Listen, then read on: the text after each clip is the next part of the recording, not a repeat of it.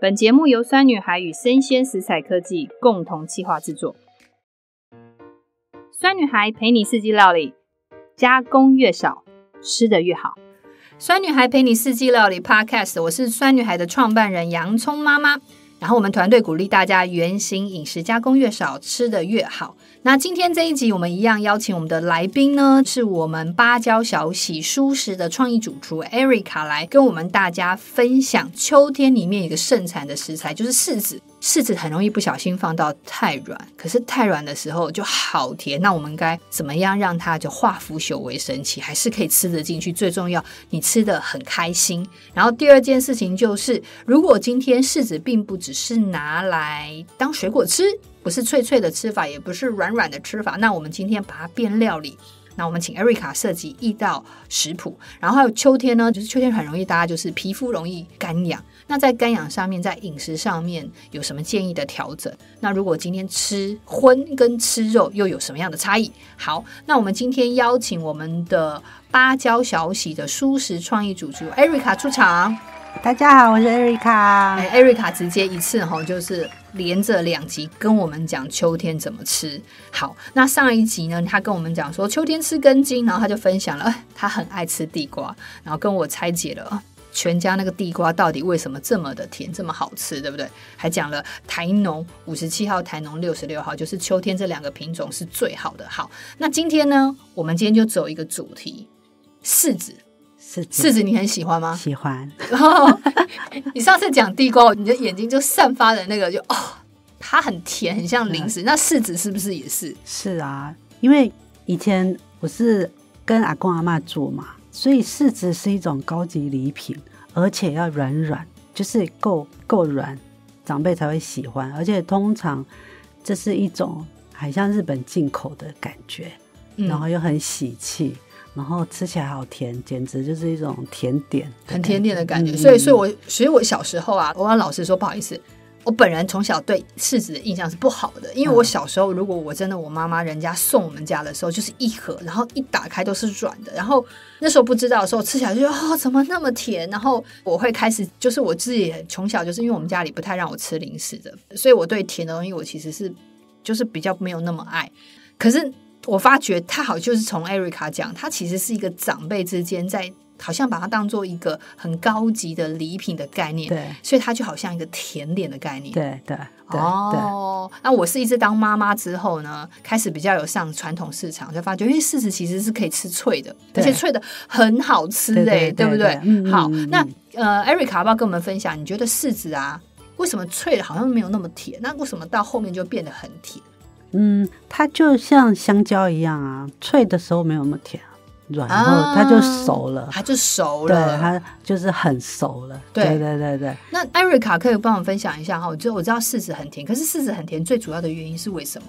柿子它橘色的嘛，所以它还是有贝塔胡萝卜素，嗯，蛮浓的。然后还有磷啊、钾、铁这种矿物质，然后它里面会不是有一块一块那种，那种是很焦。胶质，胶质很多，然后还有一点点的纤维质、蛋白质。所以，我其实我之前有听过说，他说什么？哎，小孩子啊，如果就是有人有时候常便秘的时候，在秋天啊，就让他去吃一些带一些软的柿子的时候，它其实就比较容易排便。是不是你刚刚讲，就是里面有个水溶性纤维，就是里面的胶质的部分？对，然后还有蔗糖嘛，一点糖也是。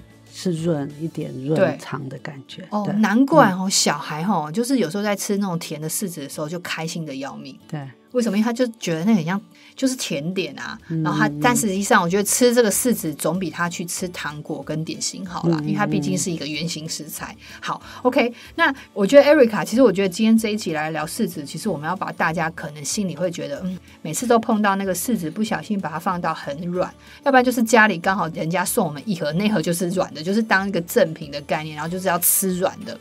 可是有些人就是真的没有办法吃那么甜啊。对，那你有没有什么方法可以让这一道呃让这个水果变得很软，然后又很甜，可是还可以吃下去？那我先分享我的，因为我之前就是有一次也是不小心放的太软，然后最后呢有一天我们家里冰箱刚好没果酱了，然后我就叫我女儿把那个柿子的皮剥掉之后捣碎它，然后我就把那个柿子变果酱抹在吐司上。嗯然后我女儿就很开心，嗯第一个又教她 DIY 嘛，那小孩最喜欢动手做，然后动手做就会很开心，东西都会吃下去。可是我发觉哎好蛮很好用的，把它当果酱，对你觉得这方法对 OK 对吗 OK OK？OK 好，嗯对不对？很甜啊很甜，对，小孩爱死了，对。嗯然后我就觉得，哎，好像它又比果酱更好。嗯那你有没有什么做法？嗯，柿子的话，它其实有三种，一个是硬的，嗯一个是软的，一个叫做果干柿干。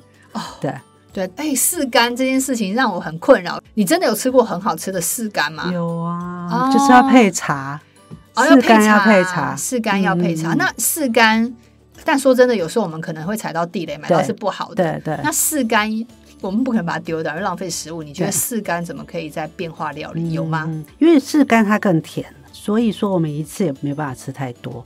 呃，除了配茶之外，因为这样子两种基本上日剧里面都有吃柿干对配配茶这样。嗯那如果说家里真的太多了，你把它当做果干的感觉，它的口感其实有点像无花果干。哦，无花无果干，这样我就听得懂了。那你就把它分一块块，然后放在沙拉里面吃。哦，对，放在沙拉里面吃，然后把它当五花果干。哎，不对，嗯我找到它一个生命价值对了。，它也很有营养啊，它跟五花果干一样，都是很有营养，又又润又润好，那刚刚讲的就是有没有可能有一道沙拉酱是用柿子做的？如果买了一批柿子，结果它整批都软了，然后你也吃不完的话，除了做果酱之外，如果呃你来不及做果酱，你可以把柿子打成泥，或跟洛梨，现在刚好也有洛梨，打成泥，然后变成一包一包冷冻起来，嗯，之后就可以跟牛奶或豆浆再打成柿子洛梨牛奶。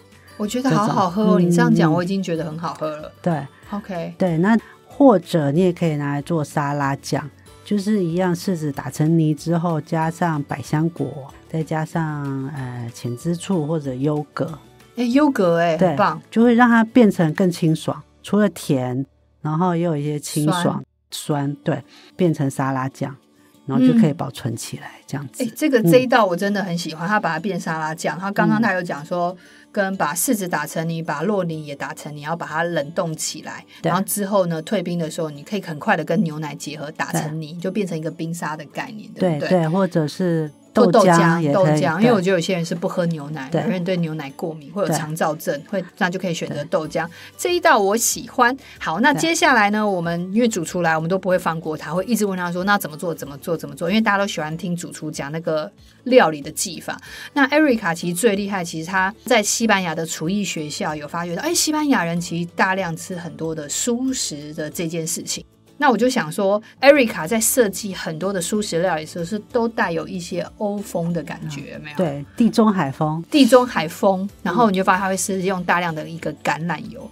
然后第二件事情就是，哎，它又会带一点点印度风。好，所以他之前才会把那道咖喱，就是大家如果有机会可以回头再去听，我们有一道讲咖喱是用天然的香料去做成的咖喱，并不是用市售咖喱块做咖喱。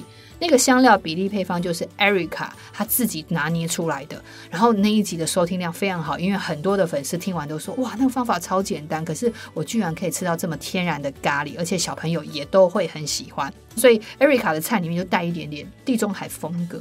又带一点点印度风格，然后还有很多各式各样的香料，所以 现在他帮我们设计的这一道，所以我希望符合你的个人风格，就是是不是有带点地中海风格？对可是有香料的 feel。对对可是呢，要回到一件事情，就是我们刚刚讲，我们上一集有讲，就是说中呃中医建议就是秋天吃酸跟甘嘛，所以你必须要在这个食物里面带一个酸，主要是因为身体要保湿，避免皮肤干燥。对所以你会怎么设计这一道食谱？嗯哼，我们今天主题是柿子嘛，那我们已经讲过柿干跟太软了，那我们就用脆的柿子来做哎、料理。对，我们刚刚还没讲嗯脆的。对好，那脆的柿子生吃已经很好吃了嘛，对但是吃不了太多，嗯对，不对？那我们就变化一下。那我今那天这道菜有没有一个名字？有，它叫做意式柿子烤蔬菜温沙拉。哦，意式柿子烤蔬菜温沙拉哦，他很贴心，帮我们设计一个温沙拉，不是沙拉冷冷的，因对为秋天到嘛。对对对温沙拉、好。那做法上面呢？嗯嗯，这个温沙拉我会加一点糙米，那这个你要先煮好糙米，好，先把糙米煮好，煮熟了，然后我用柿子再加上茭白笋，因为刚好也是这个秋冬的蔬菜。那意式烤蔬菜通常就会用花椰菜啊，或者嗯。红黄椒红黄这椒，些东西。嗯。那我们也可以多用一些我们台湾在地这个时节的蔬菜，像茭白笋、茄子，然后现在台湾也有种节瓜，现在也有节瓜，有节瓜这两年好多哦，对，然后蘑菇，所以柿子、茭白笋、茄子、节瓜、蘑菇这些东西，先用那个橄榄油和那种意大利香料，嗯最简单的意大利香料，然后盐巴，嗯呃，一点黑胡椒嗯抓均匀。那橄榄油我是建议用好一点的，因为嗯它对我们身体是比较润，好，所以多一点也没关系，好的油多吃没有关系。然后就把它铺平，进烤箱烤，大概一百八十到两百度，嗯，烤三十分钟以上，看你喜欢的焦度。哦，要烤到三十分钟哦，对对，三十分钟，一百八十到，因为里面因为温沙拉嘛，我们不需要让它太生，因为下面会有生菜，所以这个有的烤久一点会比较甜。啊，对了解了解，例如像柿子，我们不想吃它太生，对。然后它烤过以后会更甜。哦更甜，所有东西都比较浓缩，嗯。好，然后就把它烤好之后，就先拿出来，嗯。然后在盘子底下先铺糙米，哦，对。已经这道菜已经有一个淀粉，好的优对质对对，淀粉，它啊整个就可以吃饱又很健康。对。这样，那这个为什么是糙米？因为糙米它的那个保持外面那个米糠是对身体非常滋润的，嗯，所以糙米又 QQ 的。对，所以说先放糙米，然后上面再放一些生菜，嗯。然后上面再烤好的这些烤蔬菜铺上去，嗯。然后上面最后可以加我刚刚讲的沙拉酱，就是柿子沙拉酱，啊。或者是我们刚刚上面讲的一个嗯。就是柿子跟百香果跟优格跟浅汁醋混在一起的沙拉酱，这是一种沙拉酱。那另外一种就是如果不要那么复杂，对你如果没有这种，你就用浅汁醋啊、橄榄油淋在上面就好了。嗯对对，一点盐、黑胡椒，或者你家有任何的沙拉酱，嗯，对，哎，那因为你如果想要增加一个特殊的香气的话，你可以嗯。加什么蔬菜？九层塔，对，九层塔，呃，或者说你有一些什么新鲜的百里香啊，哎，我觉得九层塔你这个 idea 很棒哎，忽然就是有另外一个新的冲击出来，对，整个嗯就是很有地中海味了。对，就是很地然后橄榄油的部分。好，那我重复一下这道菜，就是意式柿子烤蔬菜温沙拉呢，就是你必须要选当季的蔬菜，你可以用我们刚刚的柿子呢、茭白笋啊、洋葱啊、大蒜，然后还有茄子之分下去烤，一百八十度到两百度 C 烤三十分钟之后呢，在烤之前要先淋上橄榄油，然后还有一些香料，比如说意大利香料之类的，或者是盐巴的部分，主要是让它出水。一百八十度 C 到两百度 C 烤了三十分钟之后呢，就把它拿出来，然后你可以在盘子上面先铺上一个糙米。好，糙米主要是一个它有一个好的淀粉质，然后另外一个它的那些谷物的部分对于肠胃道代谢其实是很好。放上糙米，然后再放上绿色的生菜，再放上你刚刚烤三十分钟的温沙拉，然后最后呢上面可以淋上最简单就是橄榄油，再加前置醋。那如果呢，你想要增加一些独特的香气，就可以加上九层塔，嗯对不对？对好，刚跟 Erica 聊完就说，哎，Erica，那你下一次来料理教室上课就做这一道菜好了。他说，哎，可以耶，就我们就即兴创作了一下下 对。对，好，OK，嗯好，我自己很喜欢这一道，因为那个柿子啊，就已经把它变成温沙拉的概念，然后它会更甜。对不对？好，OK，对好。那最后呢，我们其实每一集里面都有一个粉丝的提问呢。那我们我先把问题提出来。他说，秋天很容易皮肤干痒，然后抓完之后就容易有一片红红，很难消。想要要问，适合吃什么食物改善呢？好，我们先问一下 Erica 主厨啊，如果你这样皮肤干痒啊，然后容易瘙痒的部分，你自己有什么方法改善？你不要跟我讲说你去擦什么药？哦，嗯这个很抱歉，我们不适合。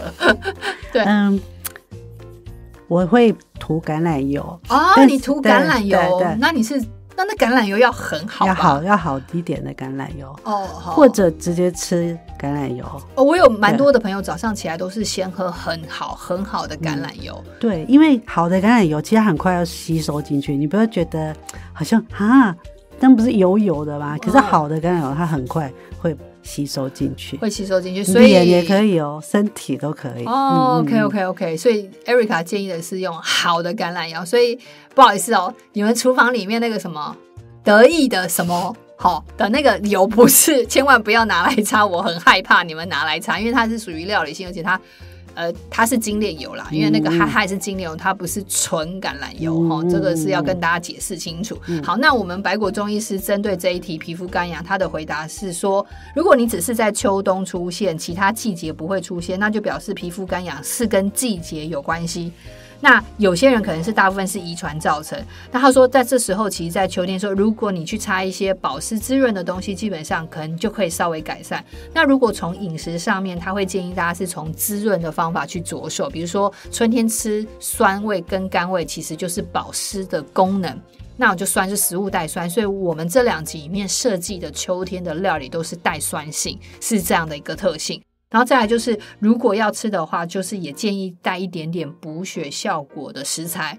那补血效果的食材，然后当然是可能是肉类。可是如果今天你是吃素食的话，补血效果的食材，Erica，你觉得什么食材其实现在当季就有，而且其实蛮健康的？呃，补血通常就是铁质啊，然后它颜色偏红，所以现在最好的我觉得就是红火龙果，它现在很便宜，当季。哦，嗯对耶，嗯就红火龙果，大家好像都。其实我们可以用食材里面去取得。那另外一个就是，他说会建议大家，就是说，呃，除了就是吃了吃一些保湿滋润的食物之类呢，然后可以摄取一些补血的食材，火龙果啊，或者是肉类都是 OK 的。他说，也有可能有些人其实是对某些食材过敏，但他自己不自觉。比如说，很多人其实对牛奶是过敏，所以如果你觉得你最近呢又特别严重，那你可以试着就是牛奶有一阵子不要去喝它。那如果你觉得你有改善，就表示其实你的身体是不适合这个食材的。那很多人就是可以找借由就是比较有自觉的方式，去对某一个食材去做一个停滞，不要去食用的动作，然后看自己的身体状况有没有改善。那你就大概知道自己对哪些食材是比较过敏。那如果你要碰到秋天干燥，你本身对牛奶食材就已经过敏，然后你又喝更多的牛奶食材，你就状况就更严重。嗯好，因为季节会加速这件事情。好，所以就是可以大家去思考，就是你最近刚好身体是不是有一些不舒服，可是要不要想一下哪些食材你可能要停止摄取？好好，OK，这是我们今天这一集的。然后另外一个就是，因为我们最近在谈秋天食材的时候，我们就有提到，就是我们就说，哎，柿子应该要出来。他说，可是最近还没有出来，大没有大量出来，对没有大量出来，然后就嗯 Erica 就开始有点忧心。那我们也发觉，其实真的欸，因为 Erica 是一个主厨，他基本上每天都在做新鲜食材的一个所谓的采购，或者是要去挑食材，跟果农或者是跟食材端在地农、小农这些合作。你有没有发觉，就是这几年，就是你在找到天然新鲜的食材，然后在气候环境的变化之下，你有观察到一些现象？有哦，因为我们自己也有菜园，嗯然后加上菜市场。例如我们的菜园现在就是很难种，因为我们是用有机的方式。嗯现在实在太热了，然后又没有水，所以现在我们菜园就要休耕。然后市场上本来这时候会出来的一些秋天的食物，在地的也都还没有出来。嗯，嗯现在有出来少量，可能就是例如高山上，它天气已经比较凉了，所以嗯有有出来这样。嗯那一般它还没，所以嗯气候变迁跟我们一般理解的食材已经出来的的那个节奏都不一样了。对啊，嗯其实我觉得得就是从因为。呃，跟 Erica，其实我们在每一次在采访过程中都会聊，然后他就聊到他最近就觉得这一两年这件事情是越来越严重。那其实我觉得是也是想要跟大家就是鼓励大家做一件事，就是我们鼓励大家吃素食有一个很大的关系，是一个环保爱地球的行为。我们并不是要你说不吃肉，而是说你可以去思考一个礼拜七天，那我们举例来讲，抓两到三天吃素食，对，然后减少所谓的这个地球的碳排放量，因为毕竟肉类的碳排放量是比较多的。然后另外一个吃当季跟吃在地，对，就会减减少所谓食物里程的这件事情。还有对。一定要支持我们的农夫，因为你帮他买，其实就是支持他，因为现在其实他要多花很多时间例如浇水，本来浇一天浇两次，他今天要浇三四次。对，对，而且就像因为天气热了嘛，他就要浇很多次。另外一个又缺水，要拉水，对，又要拉水，然后虫害就会多。虫害就会多，然后他还要做到无农药这件事情我自己觉得他已经很爱地球了，他也很爱我们脚下的这片土地。可是说真的，我们其实只要用我们实际上消费的行为或饮食行为去支持他，我觉得每个人做一点点啦，对这件事情可能就会有机会啦。然后对当然，另外我觉得我们还是保持正念正念就是说。我因为我我相信，嗯呃，你心里想的事情，这世界就会怎么变。那嗯那那我也相信，就是你心里怎么想，所以跟你正念、跟你一样磁场或者是正面的人，他就会靠近。那我觉得这个世界就是有机会变得更好。嗯所以今天很谢谢 Erica 来跟我们分享，从柿子一开始到柿子怎么样把它变化料理，然后柿子太甜的话，可以去做果酱之外呢，还可以变沙拉酱。所以那时候我觉得，其实最后一段他跟我分享，就是气候变迁变化对于土地跟所谓的。无农药食材的栽种上面会有多少的辛苦？那我希望大家能够理解，然后借由支多多支持，然后另外一个，如果有机会的话，一个礼拜吃两三天的素食，也是对地球就是爱地球的一个行为。我们今天很谢谢 Erica 来，特地从宜兰来，对不对？好，那大家有机会呢，如果你要去宜兰罗东运动公园，那麻烦到芭蕉小喜好这个 Erica 的餐厅里面去支持他，因为他用的都是在地无农药的食材，然后去坚持做一些创意料理。谢谢艾瑞卡今天来。谢谢谢谢，拜拜。